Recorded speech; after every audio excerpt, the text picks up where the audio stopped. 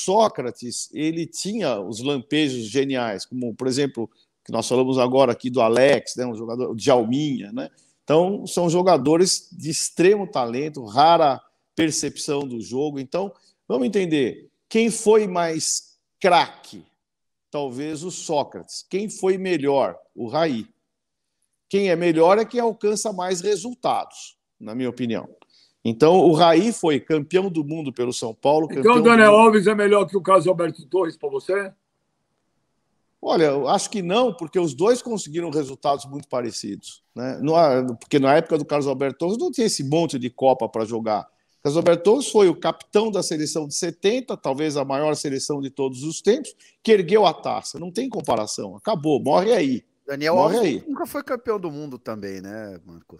Exatamente. Então, foi, foi campeão pelo Barcelona, né, aquele campeonato do mundo pelo Barcelona.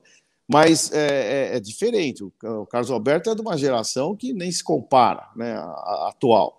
Então, o, o, que eu quero dizer do Raí é o seguinte: o Raí foi campeão mundial pelo São Paulo, o Raí foi campeão mundial pela seleção brasileira, foi campeão da Libertadores, N vezes campeão paulista, campeão brasileiro com o São Paulo.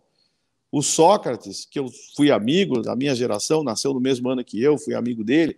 O Sócrates, comparativamente, ganhou três campeonatos estaduais, dois paulistas e um carioca pelo Flamengo, que eu me lembre.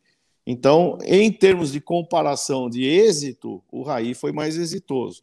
Em termos de atleta, obviamente o Raí foi mais atleta que ele. Em termos de técnica e de, de brilhantismo pessoal, o Sócrates teve mais genialidade que o Raí. Mas quem foi melhor, na minha opinião, por resultado, foi o Raí. Ah, para mim foi o Sócrates. Porque, e baseado em quê?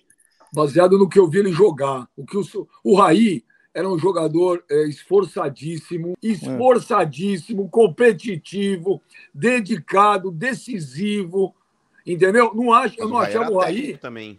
Eu não achava o Raí um gênio, tá? O Raí para mim não era um gênio, era um baita jogador. O Sócrates para mim era um gênio.